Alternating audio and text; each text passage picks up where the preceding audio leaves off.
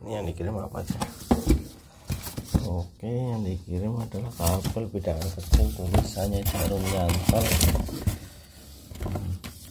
ada cuan flash disk di slot USB ada cuilan. USB oke nanti dicek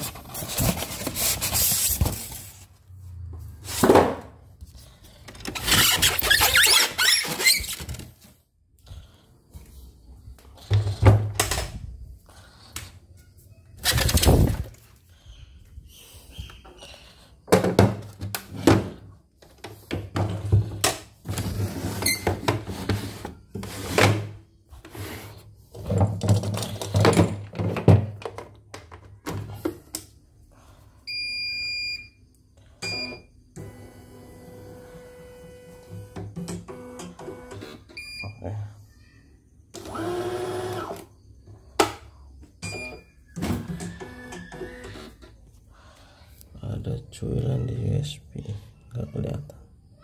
Oke, nanti dicek aja kalau udah dibuka ya. Yang penting itu tadi keluhannya. Dan ini paket yang dikirimnya tadi di video.